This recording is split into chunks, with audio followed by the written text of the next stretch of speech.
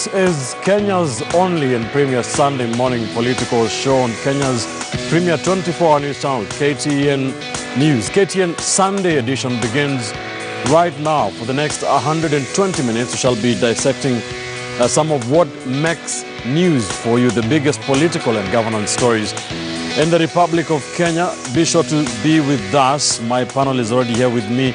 Of course, top on the headlines is uh, the death of Kofi Annan, former Secretary General of the United Nations, the man who engineered the original handshake at the height of the 2008 post-election violence here in the country. Uh, he is a man who many Kenyans know very well, a soft-spoken, uh, silver-haired man who uh, engineered that original handshake. We'll talk about his legacy, what some of the leaders in the country and Kenyans in general have been saying about him. Also, on the broadcast this morning, we'll talk about, we'll keep an eye on the war on corruption. Our graft diaries continues here. We'll take a look at what has been happening this past week. There was uh, more, there, were more, there were more arrests. Remember, uh, the wife of the Kiambu governor, Ferdinand Waititu, uh, Susan Wangare, was arrested earlier in the week. Uh, he was taken to court, to, a, to an, to an anti-corruption court here in Nairobi. There was a lot of drama. Uh, the Nairobi governor, Mike Sonko, calling um, the Kiambu governor and recording and dropping some names, creating a lot of hullabaloo, especially on social media, even calling to question uh, whether some of these arrests have indeed been genuine and the war on corruption and uh, how serious indeed the government is throwing some shade on Noordin Haji's work. We'll talk about that. We also talk about some politics, some real politics this morning. We'll talk about Western Kenya. There was a meeting between Moses Wetangula, Musalia Mudavadi and Eugene Wamalwa earlier in the week, uh, raising some eyebrows. Is there something in the works? ANC, of course, uh, becoming very strong in Western Kenya. The issue of the sugar uh, scandal also did come up, Western Kenya being one of those sugar belts. We'll also talk about some pol regional politics. We'll cross borders to Uganda, where there has been also a lot of drama. Uh, the Kyadondo East Member of Parliament, uh, Bobby Wine, most people know him as Bobby Wan, was arrested, of course, during that by-election for uh, Arua municipality after uh, the MP for that particular constituency died. And uh, there were more arrests, 20 more people arrested in the last 24 hours for protesting against the arrest of Bobby Wine. Bobby Wine uh, becoming a household name, a kingmaker, uh, unsettling the President Yoweri Museveni a lot in the last couple of years. We'll talk about that. Is he um, threatening to uh, replace uh, Kizza Besigye as uh, the opposition leader in that country? We'll talk about all that and uh, the things that have been uh, called. Um, a lot of people have been giving Museveni a lot of flack for uh, the arrest and detain, uh, detention of Bobby Wine and his supporters.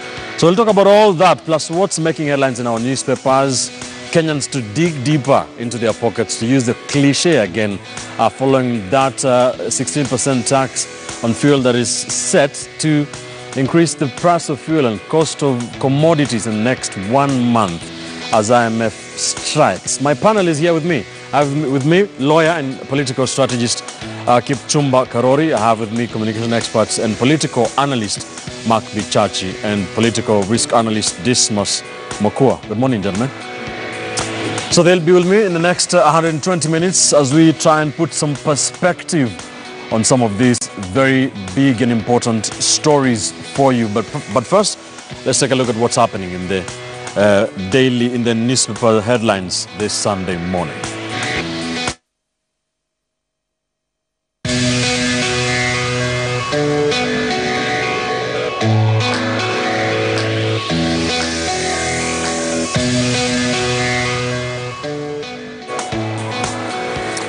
All right, let's uh, begin with the Sunday Standard, and of course, uh, expectedly, the headline, the splash, is about the demise of Kofi Annan, a former United Nations Secretary General, but who is uh, best remembered by Kenyans as a man who uh, brought the warring sides, politically that is, uh, to the table back in 2008 at the height of the 2007-2008 post-election violence, engineering, in, in effect, um, the original handshake. I did uh, pass on yesterday at the age of 80. There have been a lot of tributes uh, to the man, uh, not uh, least from Kenyan politicians, Kenyan leaders. Dismas, uh, what is your take on the man, Kofi Annan? Well, you know, many things have been said about uh, Kofi Annan, but uh, the biggest uh, points which stand out in his uh, career is uh, the, the Kenyan situation. And I think the headline uh, probably gives him uh, too much credit as having uh, saved Kenya. And I think the people who really saved uh, Kenya was uh, President Mwai Kibaki and Raila Odinga because of international pressure. I doubt on his own motion, as a Kofi Annan, he would have applied any pressure. And in my view, it was merely a messenger carrying uh, important uh, instructions from uh, the superpowers. And you recall it took him about a week to get to Kenya. And uh, in diplomatic circles, said uh, they said that uh, he had a diplomatic flu because he had to wait to be given very specific instructions. Right. But in his career, one cannot say that he's had a very successful career without uh, talking of uh, what happened in uh, Rwanda when he was uh, in charge of uh, peacekeeping. That was his baby, and uh, one would have expected then uh, in a senior role at the UN, he should have uh, probably made it known to the Secretary General that there is a crisis so that the entire world would have acted. Also, there is the issue of uh, Somalia, which took place during his time, Yeah. and Bosnia is a governor. But you know, all in all, I think as a as a product of Africa, he did a very good job, but he could have done much better. He would have done much better because, I mean, he knew the problem, and he refers to African leaders as uh, macho leaders, as uh, people, w- once they get political office, they use their power for their selfish interest, but he stops there. He doesn't go the extra mile to make them more accountable. All right. Mark, in January and February 20, 2008, Kofi Annan was in Kenya for 41 days. And uh, many people say he brought Kenya, uh, pulled Kenya from the edge of precipice. What is your analysis of his uh, contribution in, in, in, in 2008? I, would hate to belittle such a great man as Kofi Annan. Um, he's done much for the world, not just for Africa Secretary General. Uh, he had a steady hand at, at, at the UN. Um, he's revered in Ghana, um, where, I, where I've lived and worked for a while. He's, he's a legend in Ghana. But I, I honestly think that his role in the 2007 mediation process has quite been exaggerated, and this is not to be offensive to his legacy. But I, I think what we are doing in classic Kenyan practice is adoring a man simply because he has died, which is what we do all the time. We did it with Matiba, we did it with uh, uh, Shikuku, and that's that's what Kenyans do. Uh, did he play a role? Yes, he did. But let's remember uh, the West played an equally big role. Let's remember that Graça Machel played a big role. Um, so yes, let's romanticize him, but also let's put it in perspective Yeah. that his role was not to do or die in 2007. All right. Kipchumba, what do you think? First of all, to his family, the Kofi Annan Foundation, we wish them well and we, we wish that he may rest in peace. But in terms of what he has done to the world, as any other human being, he has traversed a bigger, a bigger scope of humanity. He has done tremendously well. But just like any other normal person, he has had his weaknesses. And one of his weaknesses was not coming out quite clearly when the issues in Iraq happened when Bush was really, Bush and Tony Blair did whatever they did to the Iraqis, he did not come out clearly. And also, as this mother said, he, when the issues around Rwanda were happening, he was not again up, he did not come out. But later in his career, after leaving UN, we have seen him continue with what he had started. I think he will go down as a person who he expanded the frontiers of peace, human dignity, and justice. For me, I'll say he's a consummate international diplomat. May his, peace, may his soul rest in peace. And again, the best honor we can give to Kofi Annan as a people, not to over exaggerate what he did, because he was just a messenger. He delivered the message from the superpowers.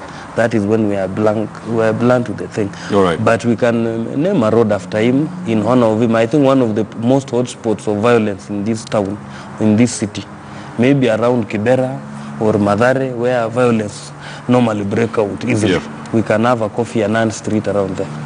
All right, so there have been a lot of uh, glowing tributes to the former UN uh, chief. President Kenyatta very quickly saying, um, in this moment of sorrow, I condole with his family, relatives, and friends. Deputy President William Ruto saying Uh, the international community has lost an outstanding, remarkable, and suave diplomat. Former President Moi saying he was a public servant who com- was committed to peace and harmony for all mankind. And from uh, Mwai Kibaki and Raila Odinga, the two men uh, whom uh, Kofi Annan did bring together. Kofi uh, Kibaki saying Kofi Annan will be remembered for matching his in, in, inimitable elegance with enchanting eloquence. And uh, Raila Odinga saying a great African, a great leader of the world. We remember him for uh, presiding over the process of reconciliation following the crisis that followed the 2007 elections. And from the world leaders, uh, British Prime Minister Theresa May, Theresa, Theresa May saying a great leader and reform of the UN. He made a huge contribution to making the world. He has left a better place than the one he was born. And the French President Emmanuel Macron says France pays, uh, pays tribute to him will never forget his calm and resolute approach to matters nor the strength of his commitment. So you can check out uh, coverage of uh, Kofi Annan's demise on the Sunday Standard on pages um, 4, 5, 6, and 7. Let's stay with the Sunday Standard and uh, go to page 2. And food prices to climb as IMF strikes where it hurts most.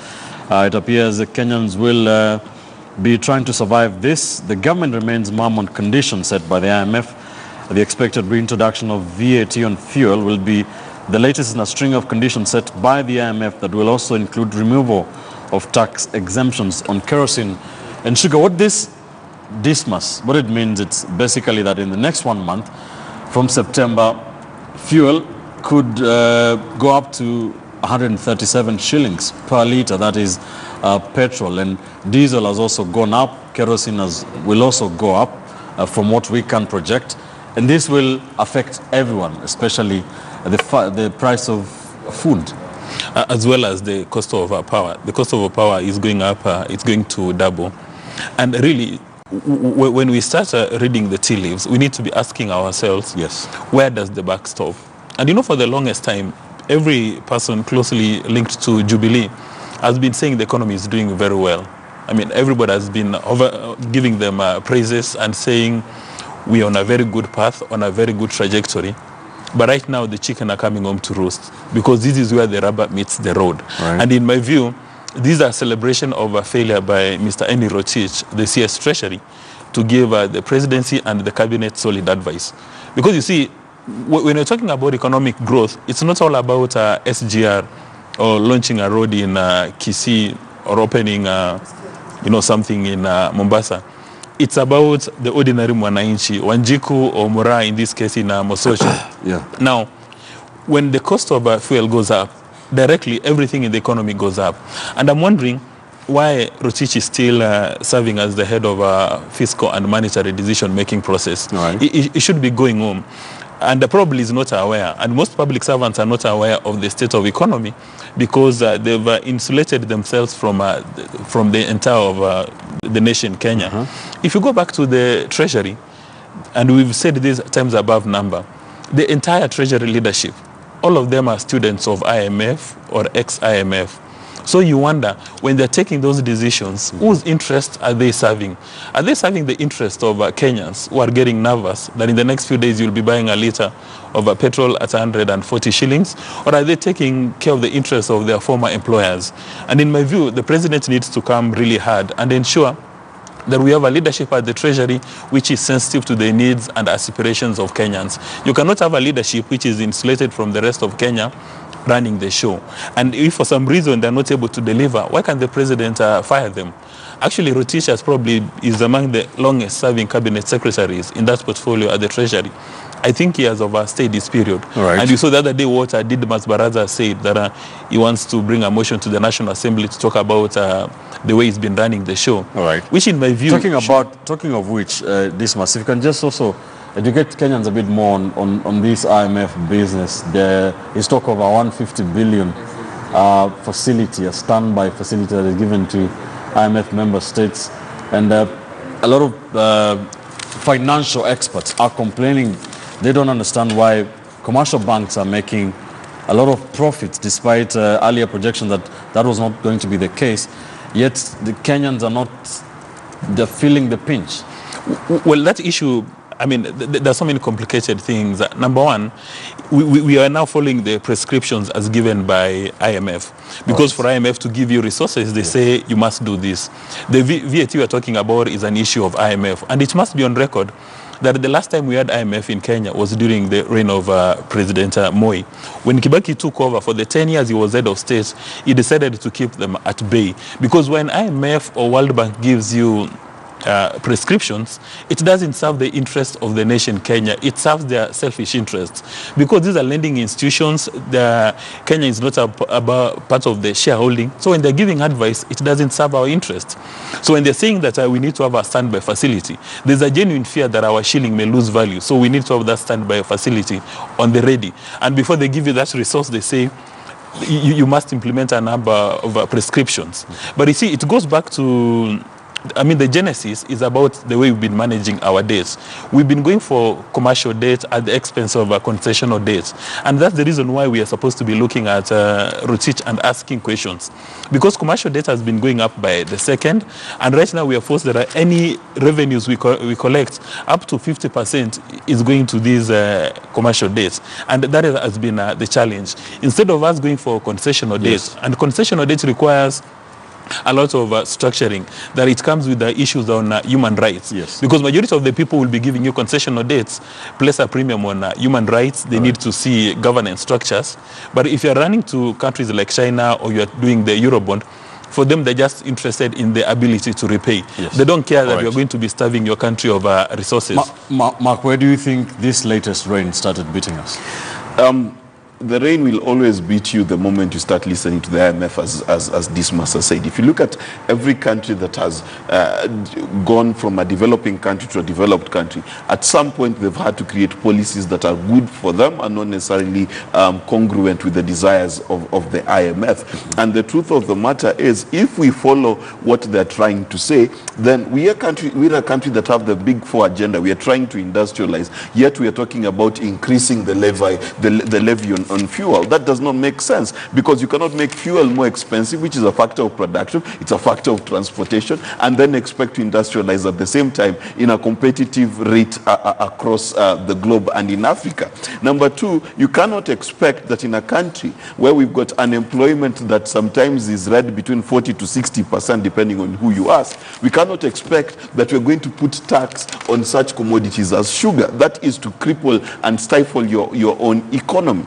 The conversation actually the IMF should be having with Kenya, if they are very honest and genuine about having a conversation with Kenya, they should be talking to us about their programs to help us end corruption, not fight corruption, end corruption, because it is their member countries who are involved in hiding our money offshore. It is the, the international monetary systems that are not uh, keeping track of what Kenyans are hiding out there. It is the system that allows our coffee and our and our and our various products to be exported raw because they do not want us to have industries here. If they were genuine, then what they will be talking about is how can we support Melvin's tea to export processed tea. They should be talking about the rare earth minerals in Voi which are exported in mud form. They're not even pre-processed all the way to China. They should be telling us what is happening to the various minerals we export here. They should be telling us about the brain drain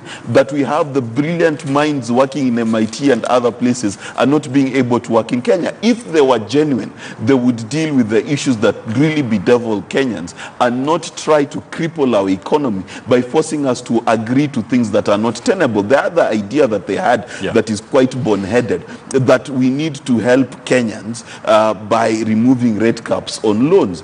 Uh, my dear brother, I had a loan once, my friend, when the rate caps were not capped, and I'm telling you those figures would change as many times as the weather changes in a particular month. And what we need for to help our country is to force these banks, which are already in billions in profit, They're with still the making current- billions. Yes, they're still making billions. So there is no reason Yeah. to support billionaires to the detriment of, of a young Kenyan who's right. trying to access a loan, which they will never give anyway. But, right, But- but- but, but- But Ben, just a quick rejoinder to what Mark has indicated.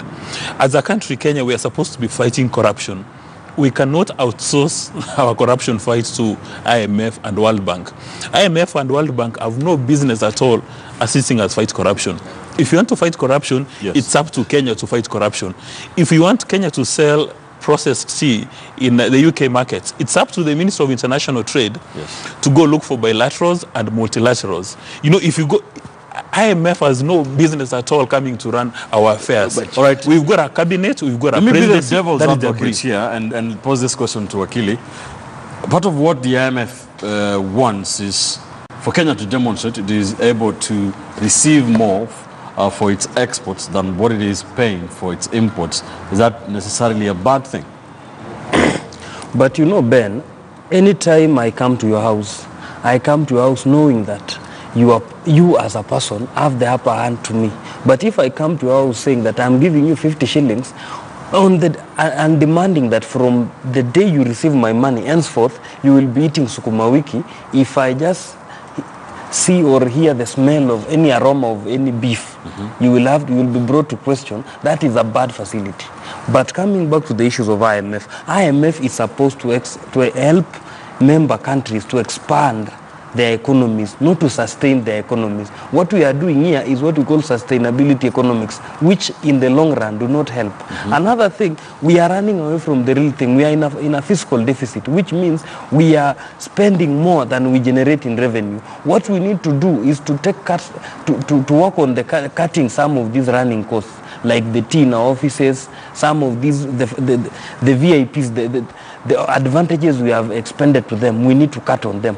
But going back to, the, to, to taxing the Kenyan man or woman is going too much. Because look at it this way.